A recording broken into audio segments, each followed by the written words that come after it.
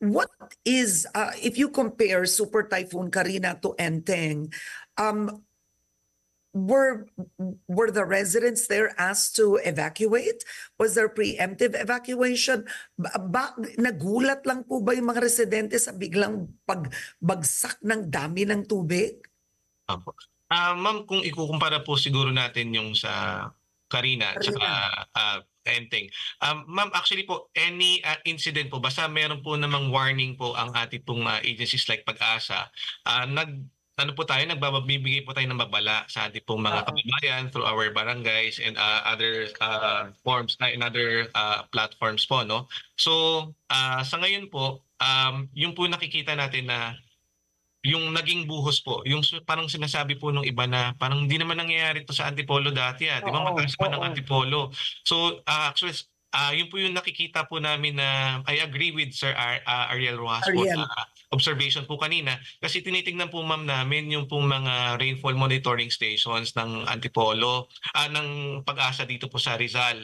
So, yung meron po, we have three in Antipolo. Antipolo Station, which is dito po sa poblasyon, yung pong um, Boso-Boso at saka Bago na yun. So Oo. ito po ma'am, base po dun sa nakita namin for the past 24 hours since yesterday, nag-record po ng 200 plus millimeters of rain. So medyo malaki po ma'am yung nun. volume. Oo. Yes, opo ma'am. So ah, actually natutuwa nga po ako dun sa explanation po ni Sir Ariel kanina kasi sabi ko yung mga tanong po ng mga kababayan po namin na bakit naman binabaha no? Although syempre marami pong factors yan, ah, hindi lang po yung sa volume. So kasama dyan din actually basura, yung po ah, mga tawag ito, encroachment po sa mga easements no? Pero this ah, ito po nakikita po talaga natin po na malaking bagay po yung volume po at yung concentration po ng pag-ulan. Kasi normally ma'am ah, yung pong binabaha namin ah, sa Antipolo kasi ah, meron po tayo yung hilly part. So may mga mountainous areas po tayo. Ito po yung mga landslide prone. At meron din po tayo ma'am yung pong mga flat like it, ah, ito yung barangay Munting Dilaw and Mayamot. Ito po yung mga boundary ma'am natin with Marikina and Cainta na mga flood prone communities din po. So normally ma'am kapag malakas po yung ulan at uh, yung buhos po, doon po lang sila, yun sila po usually na naapektuhan. Actually kahit hindi po bagyo basta malakas po yung ulan, kasama po sila doon sa mga nababaha, no? Oo. Pero this time with Enteng, yung concentration nga po nung anong ulan ah, na medyo umabot po dun sa medyo middle part po ng Antipolo kung titingnan po natin sa mapa. Kasama po dito yung mga areas na kung na nag-viral po sa social media na umabot po hanggang bubong yung tubig. Yes. Ah, opo, tapos yung meron Oo, and na- considering nga ang taas-taas ng Antipolo. Yes, ma'am. Opo. Oo. At kung titingnan, ma'am, actually din natin, ma'am, sa mapa, ito po ay mga areas na, na malalapit po sa creek. So, ah, dahil po dun sa volume po na nakita natin, umapaw po talaga yung mga creeks and wa- ibang waterways po dito which ah, explains nga po yung talagang ah, nakita po nila na uh, ito na rumaragasa po yung tubig Yes. unusual po talaga in my seven years ma'am as the DRM of, of Antipolo ma'am um, ito yung ilang areas nga po, first time ko po na na-encounter or narinig nga po na naka-experience sila niyan. Okay, so sir, right now, how many families are affected in Antipolo, sir?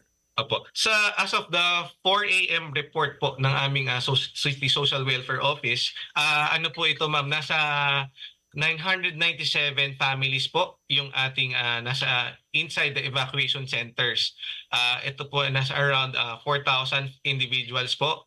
Ah, so kumbaga ah, pero kung titingnan po ma'am natin yung mas bigger picture yung mga naapektuhan pero hindi po lumikas, nasa mas marami po ito, ah, thousands po talaga yung naapektuhan po ma'am.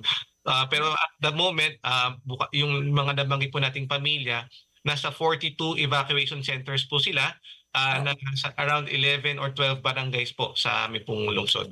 Oo. Kamusta sa Antipolo ngayon, sir? Maulan ba ngayon, ngayong umaga sa inyo?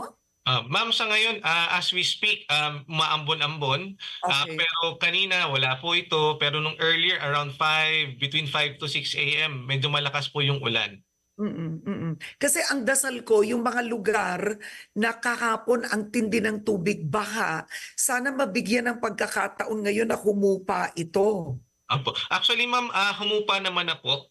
Ah, majority po ng mga around 32 or 34 ah, reported flood, flooding incidents po kahapon. Ah, humupa naman na po except po dun sa ilang pockets po, yung mga dulo po ng mga ilang ah, subdivisions po dito na talaga pong ah, medyo binabaha po talaga. Mm-mm. Okay, may pangangailangan ba kayo? May pwede bang itulong ang ilan? Ah, go ahead, sir. Opo. Ah, sa ngayon, ma'am, um, although pinagtutulungan naman po ng barangay at ati pong ah, city government po yung pamimigay po ng mga food and non-food items. Ah, pero yun nga po, at tinitignan po natin yung ah, kasi tuloy-tuloy pa rin po yung pag-ulan. So sa ngayon po talaga hindi po natin ini-encourage pa na bumalik muna yung ating mga kababayan sa kanilang mga tahanan.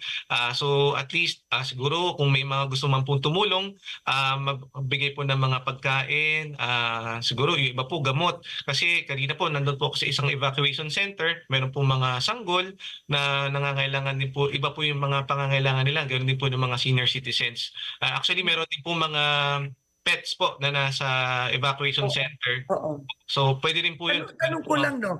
Naka-experience ba kayo yung tinatawag nilang floating waste? Kasi ikinwento ni Ariel, this was Rafael Bosano's report that may isang lugar, I can't remember which one in Rizal, that it, Monday was the scheduled pick-up of the trash ng mga basura. So biglang bumagsak, bumuhos ang ulan. So can you imagine the trash is floating with the flood waters in Antipolo. Did you experience that or hindi naman yun ang schedule niyo? Um, meron po, usually ma'am kasi sa gabi, ah, nilalabas po yan, pinipick up. Pero meron din po mga naglalabas sa umaga. Ah, yun din po yung schedule din po nung iba. So, kaya din po kung ibang mga pictures po na nakita po ma'am namin dun, um, dun sa mga daluyan ng tubig, sa mga creeks nga po. So talaga naiipon din po yung mga basura. Ah, so actually hindi lang po dito sa Enteng, basta malakas po yung tubig. Kaya minsan po talaga kino-call out po namin yung mga kababayan po namin na nandun sa upstream talaga kasi ato ma'am, ah, trabaho po ito hindi lang ng gobyerno maglinis eh. Um, mga, lahat po ito responsibilidad ng Oo. bawat isang At hindi lang yun. Kasi pag binaha, tas kumalat ang basura, pupunta ulit siya sa creek, kakalat siya. It, that will stop the water from actually, right, being cleared for the next storm. So technically, it's double here. One, they can get leptospirosis, they can get sick because now the flood waters are contaminated. Number two is you have trash that is stuck in the creeks and in the rivers. So you have to clean that out to prepare for the next storm. Agree ma'am. Ah, kumbaga sa yung efforts din po sana natin nababawasan din sa halip na i-divert na lang po natin sa ibang mas importanteng bagay, dumadagdag pa po ito sa trabaho po ng natin sa gobyerno. On that note, I want to thank you so much, Relly Bernardo of the Antipolo uh, Provincial Disaster uh, Coordinating Council. Thank you for joining me today, sir. Magniti po ma'am. God bless po. Okay, mag-ingat po kayo. Ingat kayo.